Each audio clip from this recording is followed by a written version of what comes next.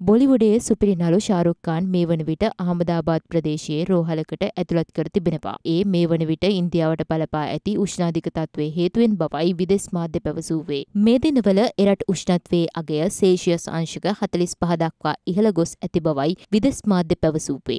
ශාරුක් ඛාන් මෙලෙස රෝහල්ගත කර ඇත්තේ ඉන්දිය ප්‍රීමියර් ලීග් තරඟාවලිය නැරඹීමට අහමදාබාද් නුවරට ගිය අවස්ථාවේදී බවයි වාර්තා වන්නේ. මේ සම්බන්ධයෙන් රෝහල් ආරංචි මාර්ග පවසන්නේ අධික උෂ්ණත්වය හේතුවෙන් විචලනය වීමෙන් ඔහු රෝහල්ගත කළ බවයි. එසේම රෝහල වටා දැඩි ආරක්ෂාවක්ද මේ වන විට යොදවා තිබෙනවා. කෙසේ වෙතත් ශාරුක් ඛාන්ගේ සෞඛ්‍ය තත්ත්වය පිළිබඳව මෙතෙක් කිසිදු ප්‍රකාශයක් නිකුත් කර නොමැති. ඔහු සමග ඔහුගේ දරුවන් වන සුබානා ඛාන් සහ අබ්‍රම් ඛාන් ප්‍රේක්ෂකයන්ට ආචාර කරන ආකාරයේ ඡායාරූප පෙළක් මාධ්‍ය මගින් අනාවරණය කර ඇති බවට සඳහන්. එසේම ජනප්‍රිය නිලියක් වන ජූහි චෞලාද මේ වන විට ශාරුක් ඛාන් බැලීමට රෝහලට ගොස් තිබෙනවා. ඔහුගේ බිරිඳ වන ගෞරි ඛාන් මේ වන විට ශාරුක් ඛාන් අසල් සිටින බවයි වාර්තා වන්නේ. එසේම තරගය අතරතුරදී ශාරුක් ඛාන් ඔහුගේ නිල ඉන්ස්ට්‍රග්‍රෑම් පිටුවේ රසිකයන්ට ස්තුති කර ඡායාරූපයක්ද පළ කර තිබෙනවා. විදෙස් මාධ්‍යවලට අනුව ශාරුක් ඛාන් මෙලෙස සහභාගී වී ඇත්තේ ඔහු විසින් හිමිකාරීත්වය දරන කොල්කටා නයිට් රයිඩර්ස් කණ්ඩායම අහමදාබාද්දී නරේන්ද්‍ර මෝදි ක්‍රීඩාංගණයේ ක්‍රීඩා කරන අයුරු දැකබලා ගැනීමටයි. ශාරුක් ඛාන් රෝහල්ගත වීමට පෙර